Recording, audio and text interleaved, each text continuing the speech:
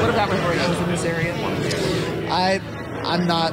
I don't have it. I know people have opinions on both sides when it comes to reparations, but the things I'm focused on, uh, that that's just not a you know cash payments to people. Lives, homes, and property were lost in the race massacre of 1921, and no one was held accountable. And as a mayor, I hate that. I don't want Tulsa to be a city where the bad guys win.